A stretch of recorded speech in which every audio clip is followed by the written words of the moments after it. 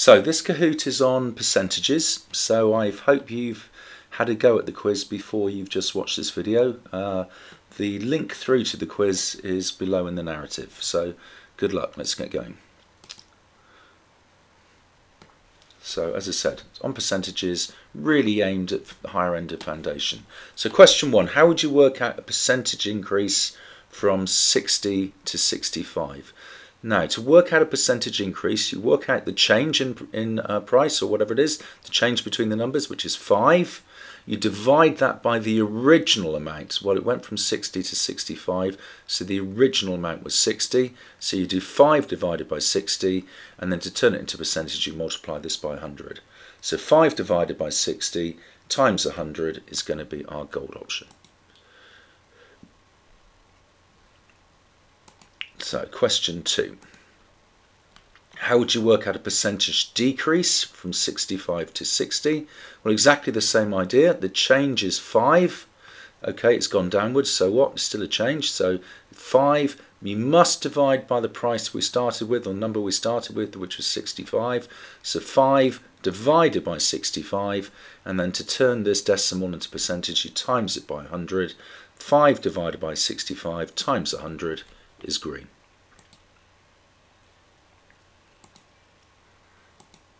Question 3. So working out a percentage increase from 45 to 65. The increase is 20. The original amount is 45. So 20 divided by 45 times 100 is blue.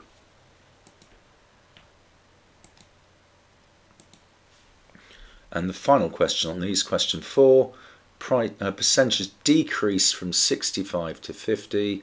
Well, the change is 15.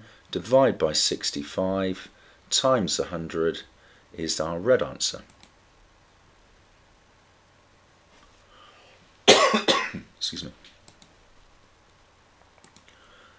Now, um, multipliers now, a few questions on multipliers. So what multiplier would you use for a 40% increase? So 40%, so that's an extra 40 out of 100. So do a 100 add 40, which is 140. To turn this 140 into a multiplier, we divide it by 100. 140 divided by 100 is 1.4.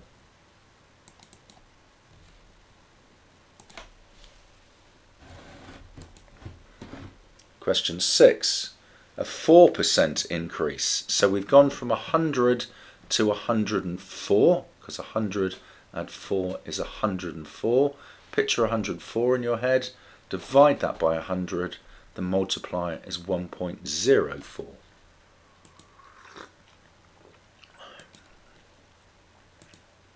Question 7, multiplier for a 4% decrease. So a decrease, so we're taking away from 100 now.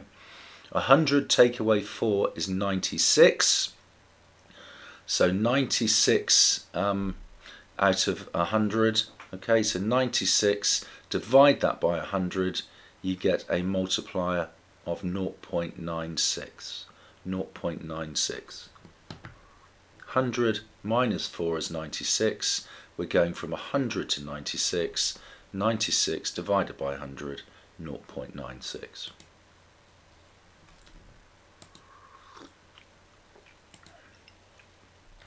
Now a 40% decrease, 100 take away 40 is 60, so 60 out of 100, uh, that multiplier is 0.6, 0.6. Okay, 100 take away 40 is 60, so what might multiplier takes you from 100 to 60?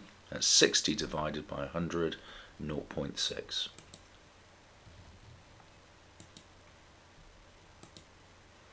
So the rest of the questions are like this really. So you've just got to take into account the percentage change and whether it, the, the original it was original or final price. So step one, we've got a 5% reduction. So our multiplier will be 0.95.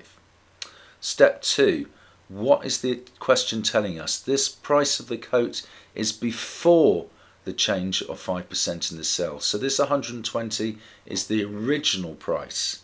So to get from the original price to the, the final price, we're sort of going left to right if you like, we need to multiply by the multiplier. So 120 multiplied by 0.95 is the gold option.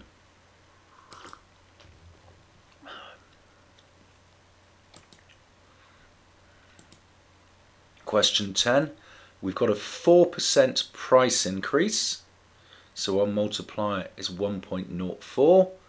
We're going from the original price to the final price. So we multiply by this 1.04, which is giving us the green option.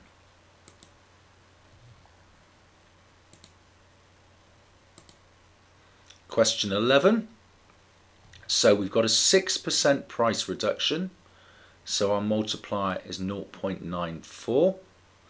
But now we're going from the final price to the original price. This is the price in the cell after the change. So we're going from this final price to the original price before the cell reduction. So it's going to be 120 divided by 0.94, which is our gold option.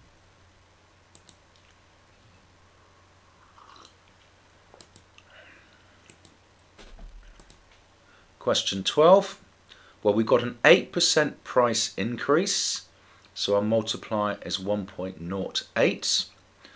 We're going from a final price to the original price, so we have to divide by 1.08, which is our blue option.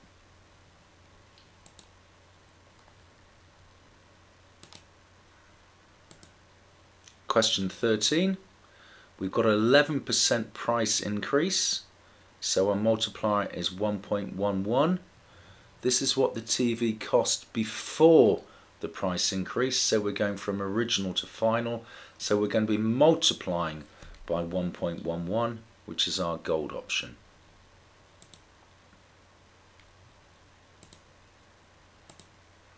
Question 14. We've got a 10% price decrease. So our multiplier is 0.9.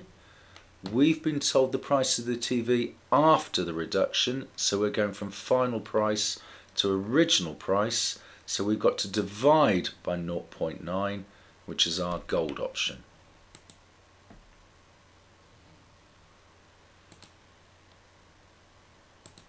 And then finally, we've got a 10% price increase, so our multiplier is 1.1. This is what the TV cost after the price increase. So this is the final price. So we're going back to the original price. So we've got to divide. So we're going to divide by a multiplier of 1.1, which gives us uh, 210 divided by 1.1, which is going to be a the red option.